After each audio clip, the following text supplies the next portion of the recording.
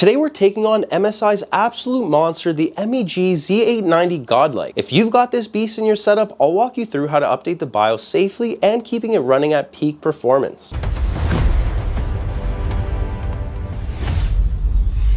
We'll cover two different methods. First, the USB method, and then the easier software method using MSI Center. If you don't have a USB sticks, then no worries, you can skip to part two of this video using the timestamps below. So first, the traditional USB method. Step one, find your motherboard model by pressing the Windows key and type in system information. Scroll a little down until you see baseboard product. That's the exact model of your motherboard. Go ahead and write it down or just copy it. Now open Google and search for that exact same motherboard model. It should usually be the first result that takes you straight to the MSI official website. Once you're on the product page, click on support and then go to the BIOS section. Sometimes it says BIOS or firmware, just go to that section. Next, go ahead and download the latest version unless you want the newest one that says beta. If it's beta, I would personally skip it unless you really need one of the features from it. Once the file finishes downloading, go ahead and extract the zip folder. The next thing we're gonna need to do is prepare your USB drive. You'll need a USB stick that's at least four gigabytes or larger. Make sure you format it to FAT32, and if it's not, let's just go ahead and format it right now. As a quick little warning, formatting will erase everything on your drive, so back up any important files or photos that you have first. Right click on your USB in this PC, select the format and choose FAT32 and hit start. After it's done, copy over the extracted MSI BIOS folder into the new USB drive that's just been formatted. Next, you're gonna wanna go ahead and restart your PC. As it boots back up, start pressing and spamming that delete key rapidly until you enter the BIOS. Once you're in, look for something like M-Flash or depending on your motherboard, it might show up as Q-Flash, Easy Flash, or Instant Flash. Select M-Flash, choose your USB drive, and open the folder where you place your new BIOS file. Select the correct file and then confirm to update the BIOS. As a really, really last important reminder, do not turn off your PC during this process, and definitely don't do this during a thunderstorm. If your PC loses power mid-update, you can break your motherboard, resulting in hundreds of dollars that are just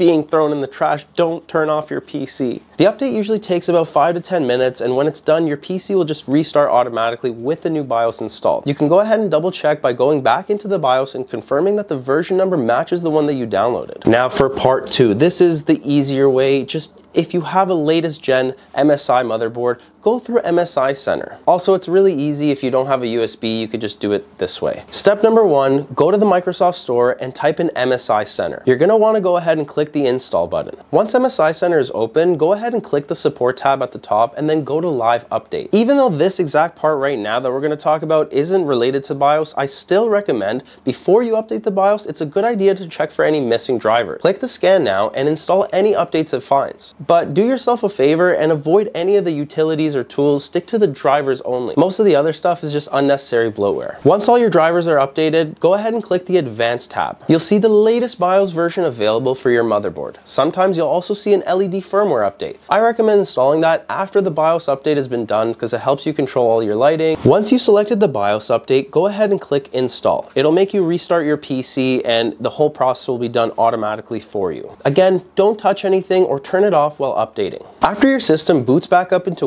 Congratulations, you've just installed the latest BIOS for your MSI motherboard. And that's it for today's video. I really hope it helped you out. If it didn't or you're having some trouble, leave me a comment and I'll try my best to respond to everybody. In the meantime, please smash that like button, hit the subscribe button. It really helps us grow the channel. So thank you guys so much and I'll see you guys in the next video.